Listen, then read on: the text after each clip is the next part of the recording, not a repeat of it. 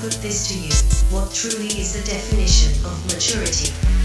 Is it sound teachings that tell us never to venture from the path and avoid all temptations, thus being shocked and wounded when our fellow humans don't reciprocate?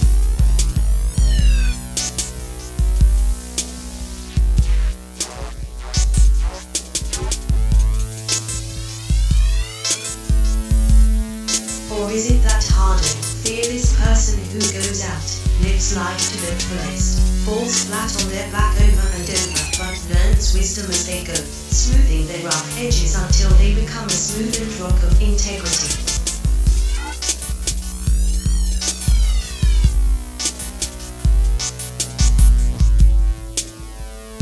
Or, indeed, maybe there is some middle ground. For not all individuals are made to strictly follow one course, neither are others constitutionally strong enough to endure and emerge unbroken by life in the fast lane.